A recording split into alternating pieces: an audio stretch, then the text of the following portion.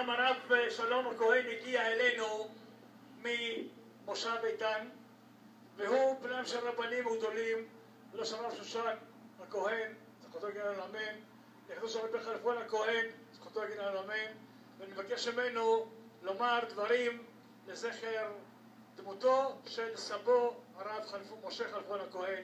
בבקשה כבוד הרב שלום הכהן.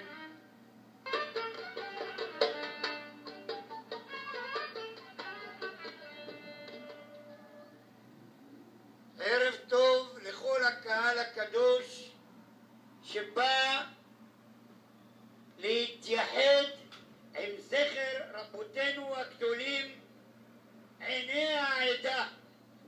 הפסוק אומר והיו עיניך רואות את מוריך.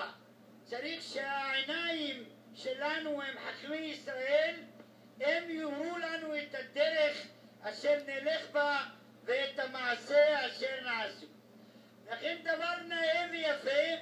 עשו הקהילה שהיא בחרה אנשים שיזכירו לנו את מסורת האבות ויפה ששילבו את זה יחד עם שירה וזמרה.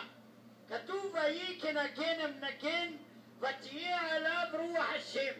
רוח השם זה הכוונה התורה.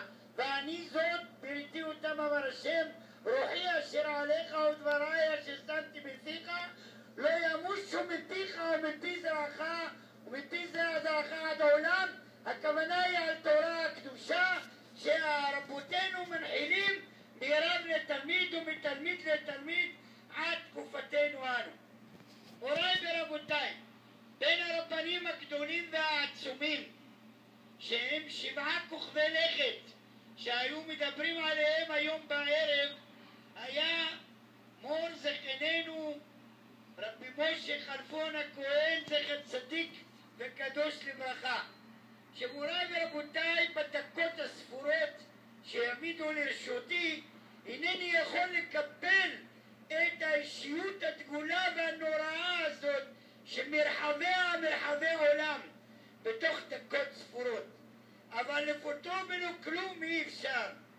לכן אני אומר מספר דברים קצרים הדבר הראשון מוריי ורבותיי רבי משה חלפון הכהן הייתה על פי נס.